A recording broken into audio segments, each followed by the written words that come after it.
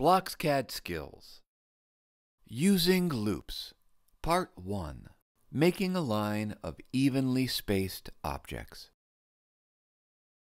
Loops in BlocksCAD are useful for making shapes in a repeated pattern. To begin, you'll see we've already set up the blocks, or code, that make three cylinders in a line. These three objects have been translated in the x direction by 0, 10, and 20 millimeters. Because the cylinders are all the same size, the code that renders them is very repetitive.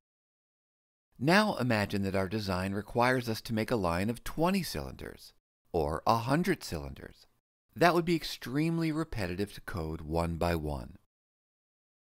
Fortunately, there's a shorthand way to do this in BlocksCAD by using loops.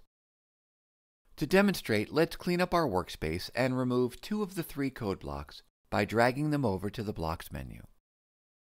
Now go to the Loop category and get a Count With block. To make a loop, we need an index variable, which counts how many times the code will be run. Here, the index will count up from 1 to 10 by 1, so the variable i in this case will be 1, then 2, then 3 and 4, etc., until it reaches the final value of 10, at which point it will stop repeating. So what do you think will happen when we put a shape into this block? Because it's a loop, this code will be executed 10 times.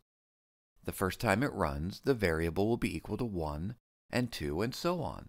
So let's render, and where are the 10 cylinders? Well, they're here, but they've all been drawn in exactly the same location right on top of each other. Notice we already have a translate block in this code, but the values are set to 0. Let's change that by using the variable i that gets its value from the count with block above to set how far each cylinder is translated from each other.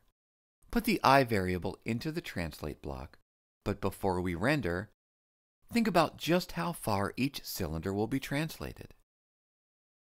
The first time through, the x translate value will be i equals 1 millimeter, then i equals 2 millimeters, and 3, and so on, up to 10.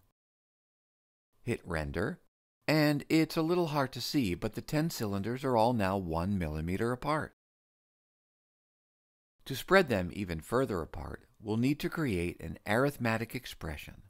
So let's drag out an expression block from the Math tab, place our i variable into the first slot, select the multiplication operation, and then we'll place this back into our translate block to help us set how far on the x-axis we'll translate each cylinder. Now grab a number block from the Math menu tab and place it in the expression block like this. If we want our cylinders to be 10 millimeters apart, we'd need to translate them by 10, 20, 30, 40, etc.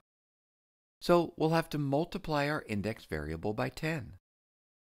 Hit render, and now we have 10 cylinders, each drawn with their centers 10 millimeters apart on the x-axis. At this point, it's very easy to modify our loop to produce a different number of cylinders. To make a line that's 20 cylinders long, just change the loop block to count from 1 to 20. To make a line that's 4 cylinders long, just change the loop to 4. It's also easy to change the spacing of the cylinders. In our translate block, we multiplied i by 10 to make the cylinders 10 millimeters apart. We can change that number to change the spacing.